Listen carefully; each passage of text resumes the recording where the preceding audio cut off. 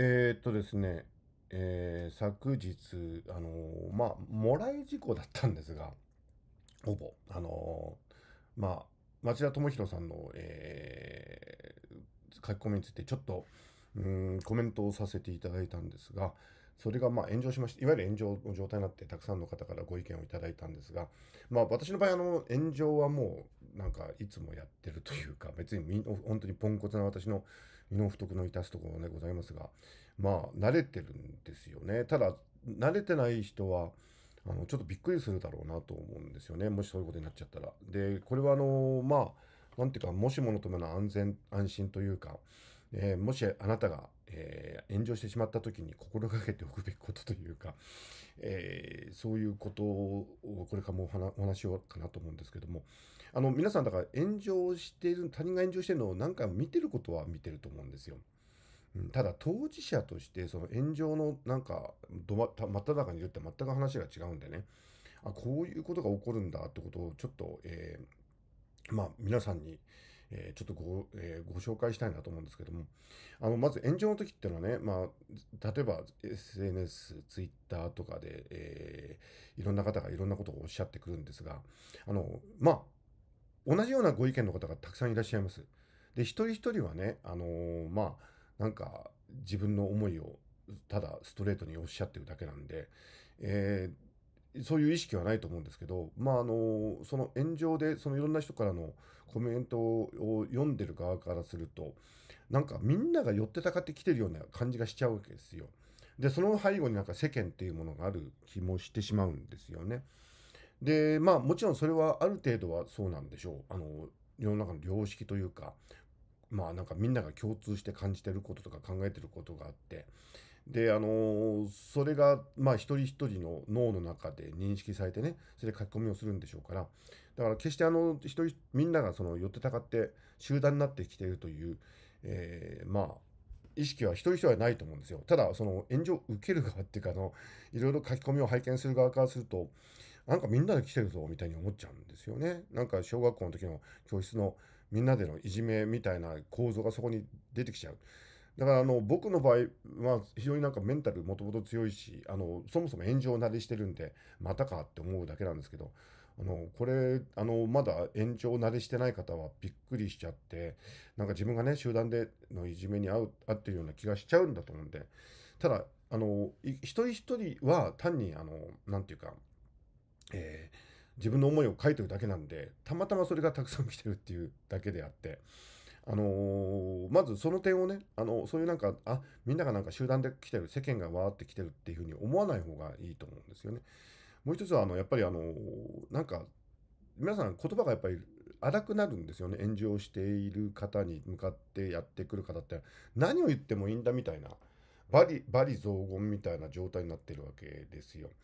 だからそのすごく言葉が強いとかあのなんていうかな荒いとかそこの向こうにあるなんかその人の心の荒々しさみたいなのが伝わってきてそれが困ったなーっていうか嫌だ嫌だなーって思うのは当然あるんだと思うんですよね。まあ僕みたいに冷静にあの意外と物事を考えるタイプの人間でも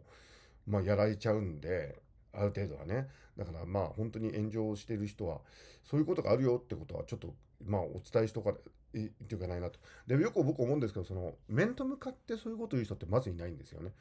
これ SNS の非常に問題点だってみんなが指摘していることでございますけども面と向かってね対面でそういうことを言わないのに、えーそのなんていうかなその、えーまあ SNS というその、まあ、間接的な身体性を伴わないところだと平気でそういうこと言っちゃうっていうのは人間の差があるわけで。でですからそのおそらくその一人一人書いてる方も面と向かってあったら別にそんな悪い人ではないと思うんですけどそのそこで現れてるなんか人間の心のありようっていうのはちょっときついところがあるんで、まあ、そこはちょっと気をつけられたらいいのかなと思うんですよね。あとね、あのーまあ誤解とか読み間違いってたくさんあるんですよ。ね、一つ一つの、えー炎上案件というか炎上の書き込みについていやそんなこと言ってないしなとかあと拡大解釈とかあと全然関係のないことと結びつけるとかあとその個人攻撃もともと全然関係ないこと言ってるのにお前はこうだろうとかお前はもともとこうだろうとかねそういうことを言ってくらしいらっしゃる方がいらっしゃるんですよね。まあそれは私の不徳の致すところではあるんですがあの関係ねえだろうってあと誤解してるだろうって読み間違えてるだろうってことあるんですけど、まあ、これ炎上してる時ってあのまあそういうこと言い返してもしょうがないんですよ。ますます火に油を注ぐようなことになるんで、あのまあ、拙者のように炎上慣れしていると、そういう、まあ、コメントについては基本的に返事をしないっていう、これがまあ、正しい、えー、はまあ、なんていうかな、対処法だと思うんですけど、あの、SNS とか拝見してると、いちいちなんか反論してしまってらっしゃる方がいらっしゃって、もちろんね、場合によっては、例えば明らかに事実と違うこととか、明らかな読み間違いなんかについては反論、短くね、パッと反論すると、それがあの消化作業になる場合もありますが、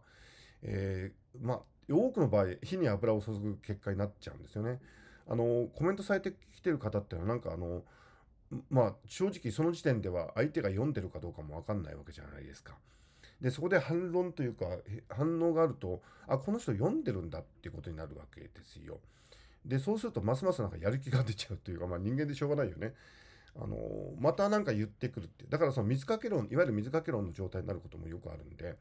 あのあんまりその炎上してる時にですね、いちいちその明らかに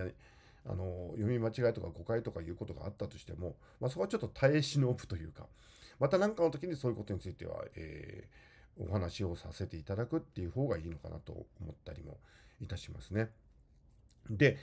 あの、これがまた面白いところなんですけど、なんか、えー、その炎上してるとそういうネガティブなコメントがたくさん来るんで、えー、なんか世界中が自分の敵になっているような幻想を持ってしまうんですけど、実際にはね、共感している人とか、あの、共感してくれてる人とか、そうだよねって思ってる人もいるんですよ。でもそういう方々は書き込みをしないんですよね。これが面白いことに。人間ってやっぱりなんかその、なんかな、共感したり、いいねって思った時よりも、まあ、特に SNS の特性があると思うんですけど、なんだこいつとか、ふざけるなって思った時の方がどうも書き込みをするようで、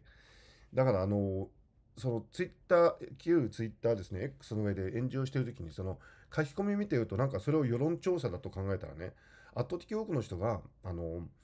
場合によっては99%の人が、なんかあの、自分の言ってることに反対してるとか、えー、反発してるって見えるかもしれないんだけど、それは単にそういう方の方、方の方が書き込みをしやすいという統計的な傾向があるだけであって、実際にはね、賛成してくださったり、共感してくださっている方もいらっしゃるんですよ、世の中には。だからそこをちょっとバランスを考えた方がいいのかなと、えー、思います。まあ、あの、というか炎上はね、なるべくしない方がいいんですけど、最後にね、ちょっと一つ申し上げたいのは、まあ、炎上させようと思ってしてるわけじゃないわけなんですよね、僕なんかもね。昨日も単にあの町山さんの、えー、コメントに対して素直に思ったことを書いただけなんですけど、あのじゃあ炎上しないためにはそういう論争的なことについては口をつぐんでいるのがいいのかっていう話なんですがおそらく人間の脳としてはね自分が言いたいことがあるのに言わない方がよほど、えー、なんかストレスになるっていうか体に悪いんだと思うんですよ。ね、だからあの溜め込んでるとどっかでその無理が来るというかだからやっぱり言う時には言った方がいいと思うんですよ。別にいつもダダ漏れで言う必要はないと思うんですけど何かの時には言った方がやっぱりいいと思うんですよね。で、その方がなぜあのいいかっていうと、あの僕いつも言ってるように人の話やっぱり聞く人になりたいと僕は思ってるんです。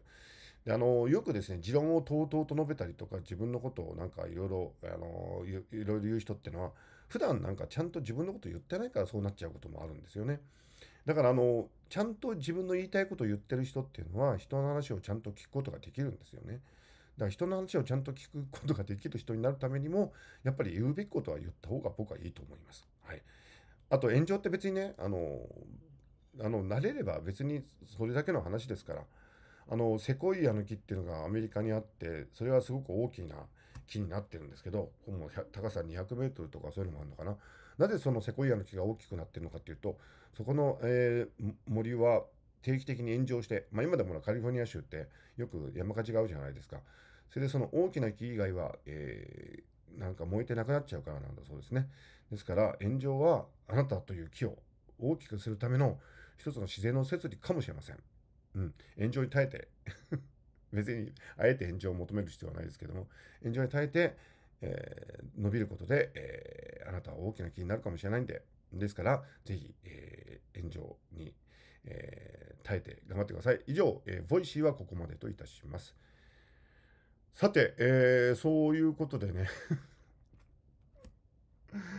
いや別に炎したくてやってるわけじゃないからね。あの、ただ僕は言うべきことは言う、あの、あとね、面白いことに、あの、まあ、炎上してなんか、あの、わーってみんな言ってくるじゃないですか。その、終わった後、しばらく経つと、なんかその方々も冷静になってね、その時はカーッとなられるんでしょうね。でも意外となんかね、自分のメッセージはね、最終的には届いてることも多いんですよ。うん。だから、そういう意味においては、あの、